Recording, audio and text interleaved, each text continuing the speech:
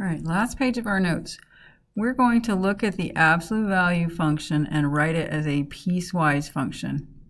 As a piecewise function, it looks like this. Let's talk a little bit about why that is. If we look at that absolute value function, like we talked about, or like you were asked to do in the starter, it follows the line y equals negative x until you get to x equals 0. So for x values that are less than 0, it follows the line y equals negative x. Then at x equals 0, it turns and follows the line y equals x. So we'll follow that if x is greater than or equal to 0. And that's where this piecewise function comes from. Right?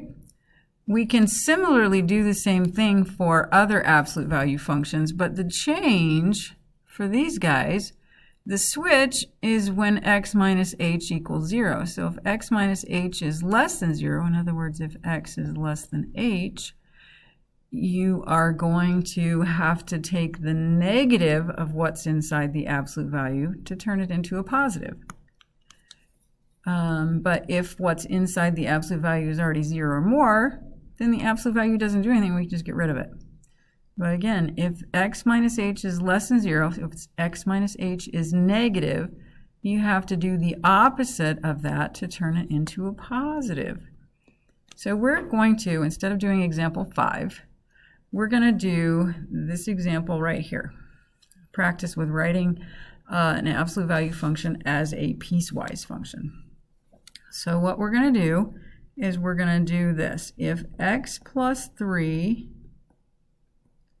is less than 0, we're going to have the equation 2 times, if x plus 3 is less than 0, to turn it into a positive, we have to do the opposite of x plus 3. Now we're going to simplify that. So we're going to start on the inside, distribute the negative, Now we're going to distribute the 2. Now we're going to combine like terms. So there's half of the function. That's the half where x is less than negative 3. Now let's do the other half. So if x plus 3 is greater than or equal to 0, so if what's inside the absolute value is already 0 or more, it's like the absolute value isn't doing anything, or it doesn't have to do anything, right? So the absolute value is just going to be x plus 3.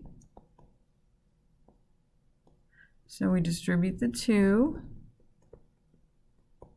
Combine like terms, we have 2x plus 5. And that's what will happen if x plus 3 or is greater than or equal to 0, which transforms to x is greater than or equal to negative 3.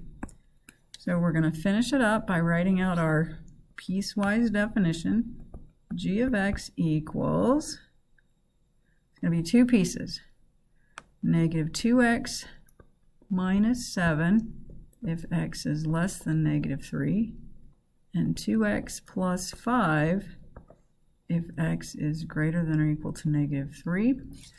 And that's how we do piecewise definitions for absolute value functions.